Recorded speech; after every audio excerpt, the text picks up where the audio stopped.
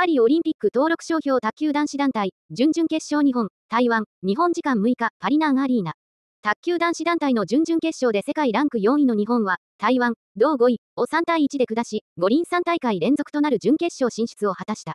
第1試合のダブルスで先勝すると、続く張本智和、21、世界ランク9位が林윤樹、22、同7位とのエース対決に敗れ1勝1敗に。第3試合の戸上俊介、22、同16位が貫禄のストレート勝利で王手をかけると、第4試合で張本が敗戦から切り替えて勝利し4強入りを決めた。張本は最後のゲームを奪うと、コーチと仲間のもとに向かい抱き合いながら準決勝進出を喜んだ。メダル獲得に王手をかけた日本。準決勝の相手は日本時間7日、午前3時に行われるスウェーデン対ドイツの勝者と対戦し、勝てばリオ五輪以来となる銀メダル以上が確定する。第1試合のダブルスは戸上と篠塚博人、20、同42位、ペアガソー遅延、43、同40位、交渉 A、19、同35位のペアと対戦。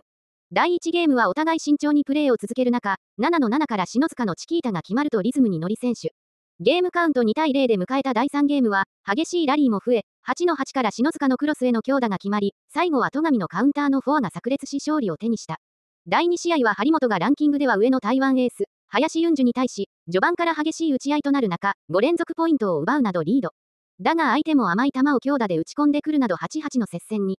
9の9から先にゲームポイントを奪われると、張本のレシーブが台を超え最初のゲームを奪われた。次のゲームを奪い返したが第3ゲームは、相手の高い打点からの速攻に苦しみ、7の11で落とし跡がなくなった。第4ゲームは相手のミスもあり長本が奪って2、2の5分に。勝負は第5ゲームは、張本のドライブとカウンターが連続で決まってリードするが、相手も粘り6、6から4連続ポイントを奪われてしまい、相手がマッチポイント。最後は林の強烈なストレートのフォアを防げず、エース対決に敗れてしまった。これで1勝1敗。